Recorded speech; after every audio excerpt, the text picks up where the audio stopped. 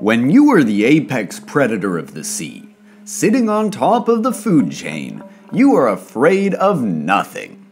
Everybody is scared of you. Well, that's just what you thought.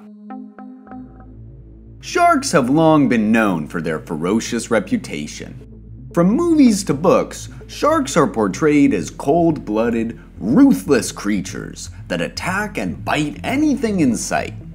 Even though they are not 100% that merciless, sharks still scare the shit out of people sometimes. I mean, it's understandable. Their teeth, their beady eyes, their enormous size. They literally look like they're from another planet.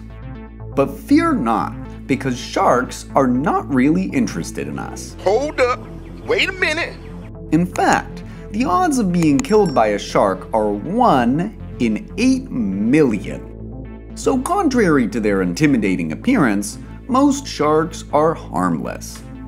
The vast majority of shark species present little or no threat to humans at all. But for other aquatic animals that live in the ocean, sharks are something else. Humans are afraid of sharks, so it is easy for other aquatic animals to be scared of them too.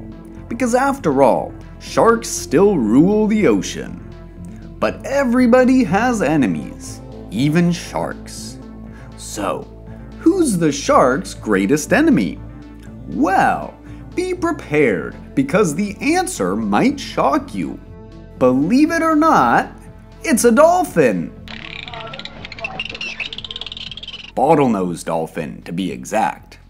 Yeah, just like we check under our beds for monsters, sharks check for dolphins before nodding off.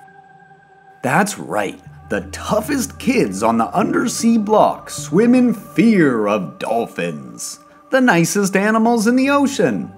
Sounds unbelievable, but it's real. But how come the killers of the sea end up in this funny situation? Sure, most people may view the bottlenose dolphin as a humble and gentle marine mammal. They are a lot like pet dogs. They're sociable, playful, and curious. They get along well with humans. There are many cases of dolphins helping injured people and other animals as well.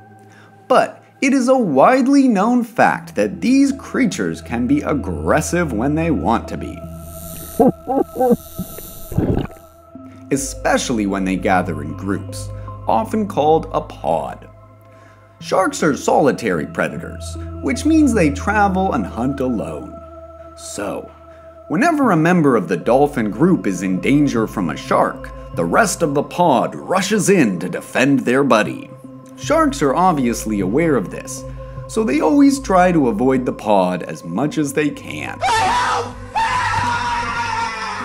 But even if a shark comes face to face with a dolphin, it can still be easily outmaneuvered, particularly because of the characteristics surrounding their physical build.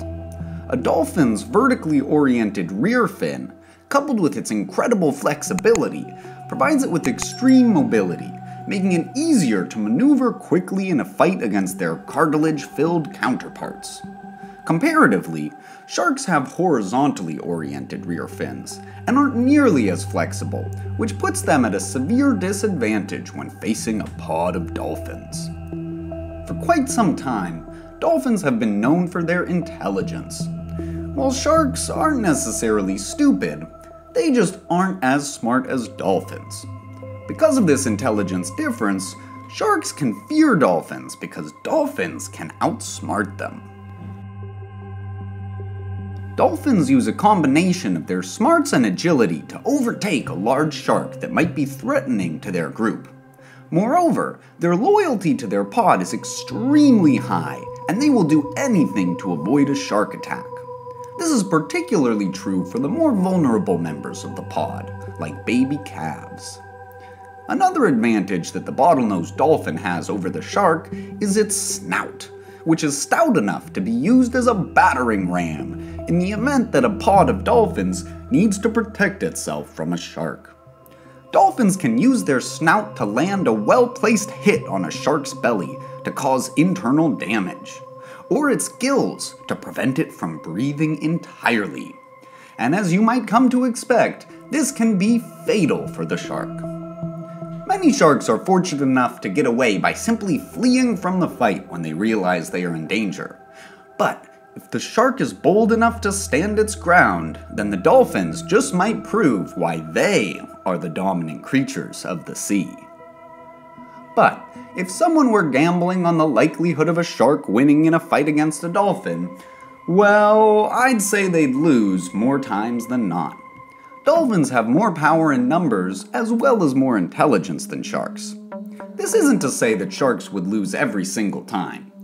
If a shark is fighting or attacking a sick dolphin, there's a chance they could win the battle due to being in better health. Considering that dolphins travel in pods, it could be unlikely that a sick dolphin would be alone. Sharks might not be as smart as dolphins. Bird but they sure are smart enough to realize that a sick or injured dolphin isn't going to be able to perform as well as healthy ones. They simply wouldn't have the energy or strength to administer the deadly blow to the shark with their snouts. So, it's safe to say that it depends on the situation. I know, not everything is cute and beautiful. That's the dark side of nature.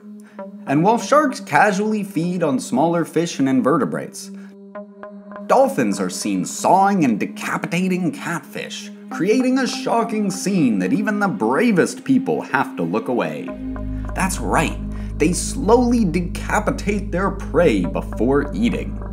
While doing their work, researchers came upon a trail of floating catfish heads that extended for a third of a mile, clearly left there in the wake of a pod of dolphins moving through the area.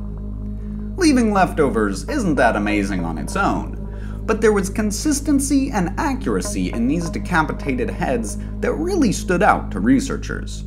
Catfish have three defensive spines in their skulls that they can lock into a socket as a defense mechanism, making them not only difficult, but dangerous to try and swallow.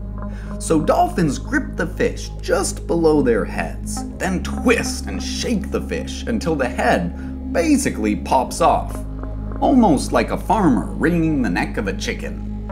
Because their teeth don't allow them to saw and cut the meat, so they do this in order to have a safe meal. From now on, let's call dolphins the executioners of the sea, shall we? So, what do you think about today's video? Be sure to let us know in the comments section below. And as usual, thank you so much for watching. Please give us a big thumbs up, subscribe to our channel, and turn on the notification bell so you won't miss anything from Wildpedia.